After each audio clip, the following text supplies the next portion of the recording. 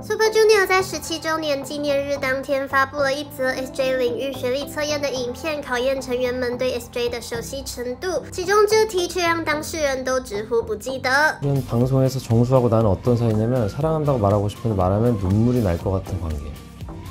아닌데? 헛소리야? 이런 희철이가 이런 얘기를 했다고요? 사랑한다고? 이런 토 나오는 말을 내가 했다고요? 이런 이런 말을 거짓말이지. 이거 만약 이게 실제 진짜였어도 가짜야. 희철이는 이런 얘기를 한 적이 없어 1번 근데 1번 아니야. 사랑한다고 말을 할 애가 아니야, 우리는. 5번 4번이라고?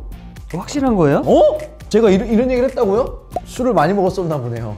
거짓말을 왜 근데 이형 진짜 이건 잘못됐어요. 진짜 절대 눈물 안 날걸? 정수랑은 어떤 느낌이냐면 너무 사랑하는데 사랑한다고 말하면 내가 눈물이 흐를 것 같은 그런 사이야.